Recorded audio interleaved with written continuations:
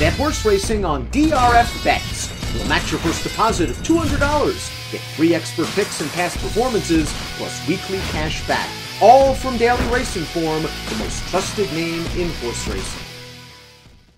Dan Illman, Mike Beer taking a look at race number seven at Keeneland on Future Stars Friday, day one of the Breeders' Cup program at Keeneland this weekend. It's the Breeders' Cup Juvenile Fillies. Championship honors likely to be decided in this race. $2 million is the purse. We're going a mile and a 16th. Remember, a short stretch at Keeneland at a mile and a 16th. Let's take a look at this field. Trainer Todd Pletcher represented with two in here. He's got the grade one winner, Chocolate Gelato, who will be trying two turns for the first time, and he has a newcomer to the barn, Atomically, who did win around a two turn mile in a 16th and did so very impressively against Florida Breds at Gulfstream. Yeah, his, the newcomer in the Pletcher barn has looked pretty good so far. This is a pretty significant step up in class for her. I think Pletcher probably has the horse to beat Dan with the 10 chocolate gelato. Um, she does have to stretch out around two turns, though, for the first time. Curious as to your thoughts on the Timeform US pace projector. I tend to agree with the red bar situation. I think this pace has to be fast. I wonder if You're My Girl, the two, is faster than the nine Grand Love. Both of them are very quick. I have a feeling Chocolate Gelato is going to try to rate out of it a bit, maybe sit third or fourth, but not be too close to the pace. Is Wonder Wheel going to try front running tactics again? I, I, mean, maybe they'll try it. I didn't think she was fast enough to make the lead this time. I thought more than anything else, she just got a great ride last time um, when just holding on over course and distance. Though I, am with you. I kind of feel like Grand Love the nine might be fastest early in here, Dan. Um, we'll see. I the Timeform US didn't have her most recent start to Pocahontas, um, you know, with the fractions color coded red, but I thought that was a pretty strong pace. It certainly seems so. The closers did very well in that race. Let's start things off with the number one Vegas Magic, who, as you saw on the pace projector, would benefit from a fast pace up front. She drew inside in this two turn test. Her first try around two turns. She won the grade two Sorrento at a big price from off the pace. Two starts back. Last time out, no match for And Tell Me No Lies, and must face that one once again. Yeah, I mean, I, you know, to me, she doesn't really have the race that makes her a serious contender in here, even though she won the first three starts of her career, including a grade two. Dan, they it felt like they really tested her most recently for the first time, and she just didn't really do anything in that race. The number two, You're My Girl, should be a factor in here. A New York bred trained by John Terranova, who ran away and hid from fellow state breds in her career debut going six furlongs at Saratoga. They threw her to the Wolves in the Frizette second time out, stretching her out in distance. Very wet track. She showed good speed. She hung in there to be second. Uh, she's the inside of the speeds. Whether she's on the lead or sitting second, she should be right in the thick of things when they turn into the short stretch. Oh, yeah, I feel like they're gonna they have to come out of there running, whether she's on the lead or not. I guess it, that depends on how fast they go. But I think they'll come out of there running, looking for the front in this race. Um, I personally can't knock either of her first two starts. She was very impressive, winning uh, her debut at Saratoga, and I thought her first set was all in all a pretty solid effort. I didn't feel like there was any point throughout the stretch there, even though Chocolate Gelato never really put her away. I, I never really felt like that was a, a spot where You're My Girl was going to come back and beat her. I still thought she ran fine. The only three time winner in the field comes from the West Coast. It's the number three. And Tell Me No Lies. She won the Del Mar Debutante, a grade one going seven eighths. Then she successfully stretched out to this two turn distance. In this race, the Chandelier at the Great Race Place on October the 8th. She stumbled a little bit coming out of the gate, Mike, but I liked what Vasquez did. Kind of sent her up, got her relaxed in a nice spot behind the speeds, and wore them down. The only concern is that she's a little bit slow on paper. Yeah, exactly. Um, I, I, like everything else about her, though, Dan. I like all of her wins. I like this win. Um, although, you know, she had a, a, competitive pace in front of her. I thought all in all, she got a perfect trip despite stumbling at the start there. Um, but she might get another quick pace in front of her here. She's already shown that she can sit and make a run at horses through the stretch. And that's a big advantage in this race. Sabra Tough has earned a graded stakes placing. That was three starts back in the Adirondack, going six and a half. She's been beaten by several of these horses, however. Last time out in the Alcibiades, if you want to say post 13 is no great shakes, going a mile and a 16th at Keeneland, fine. And she did pass some horses in the stretch, but other horses had more trouble, I thought. Yeah, me too. Um, she didn't have a huge excuse in there. Um, just sort of ran her typical race down. I, am actually a fan of hers. I think she's probably a little bit underrated. I still don't like her in this race.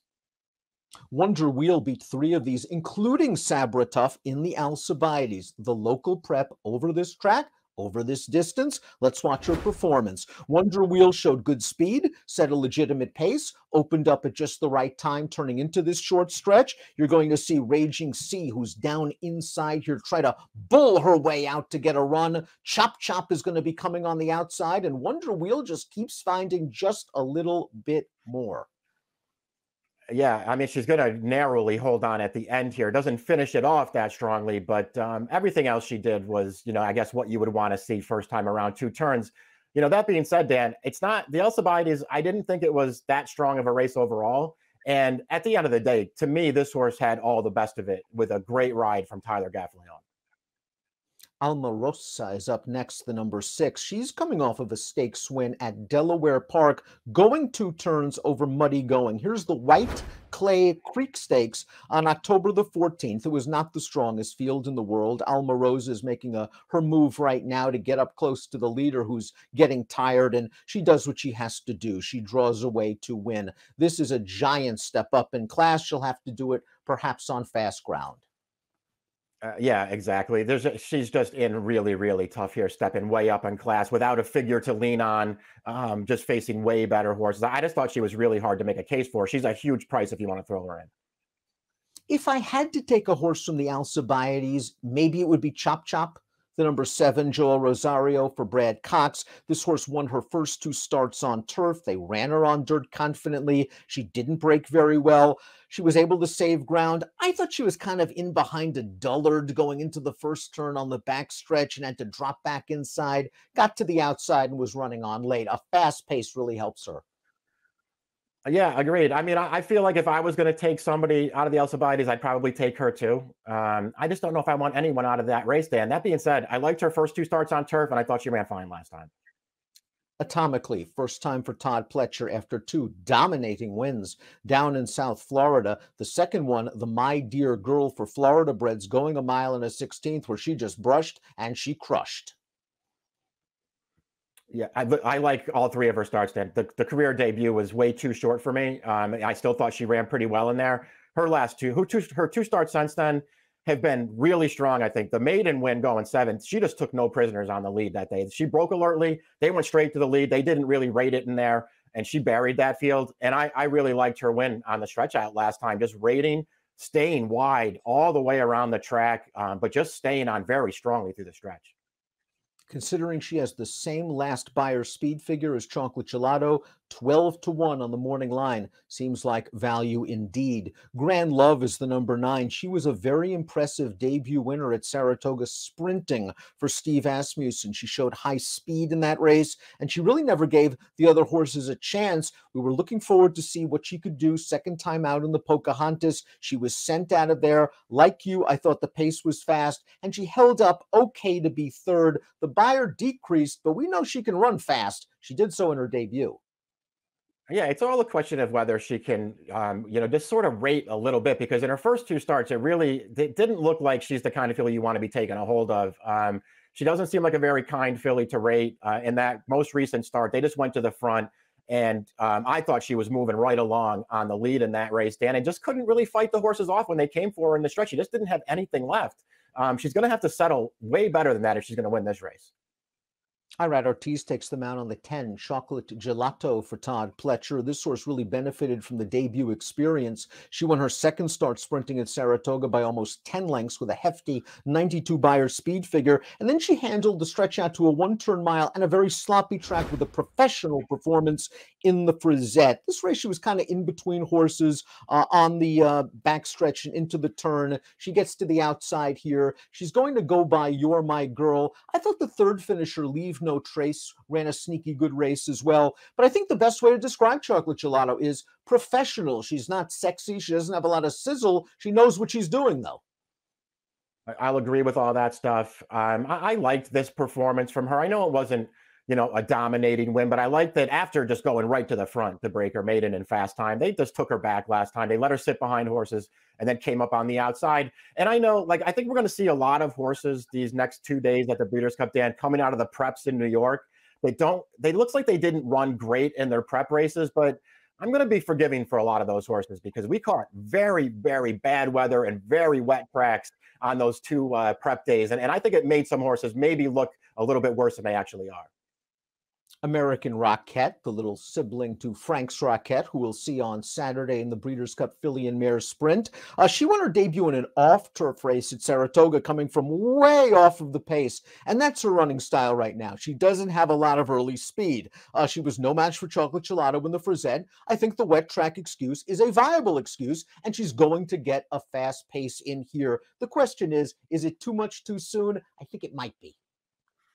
Yeah, and how far does she want to go? I think that's the major question that I have, Dan. To me, she's got that look like of a closing sprinter. Um, I, I, know that the debut was a race scheduled for turf and rained off, but she she was pretty good winning that race with a big finish. And I would just say, I know that she wound up fourth in the Spinaway. She might have been best in that race. Totally blew the start, bolted to the outside rail, and made a huge run to only get beat about three lengths in there. I mean, I think she's good. I just don't know if she wants to go this far.